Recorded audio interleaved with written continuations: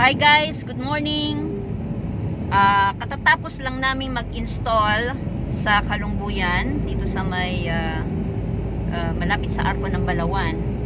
So, ah, meron kaming naka-schedule din na isa which is dito rin sa Pantar, Balawan, malapit lang din dito sa Kalungbuyan para magpa-quotation at pipili siya kung kurtina or window blinds ang ipapakabit niya sa kanyang bahay.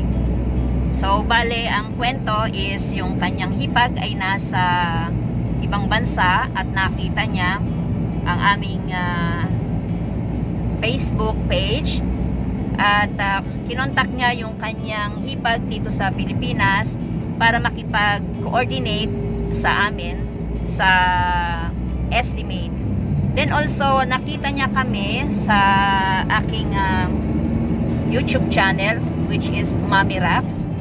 Kaya, na, lalong nagpursige siya dahil nakita niya yung mga na-post namin doon na mga finished products at ratings ng mga clients.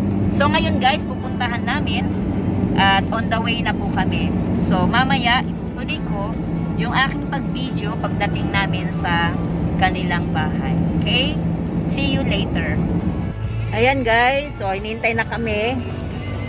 So gaguide kami ng client. Ayan, nagantayan kami dito sa may arko ng Pantar. Ayan. So susundan namin sila. Okay. Ay, sito, may convoy kami. Ganon ang treatment nila sa curtain ideas. Ang client pag willing talaga na magpalagay ng kurtina or blinds, ayan, sila pa mismo ang uh, magga-guide sa amin papunta sa kanilang location. Bali guys, nakita lang kami sa Facebook page namin at saka sa aking Mami Rocks YouTube channel sa aking pagbablog.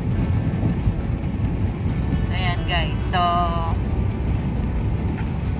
dito lang po siya. Actually, meron kaming dalawang clients na uh, naging customer dito. Ah, yan pala yung bahay.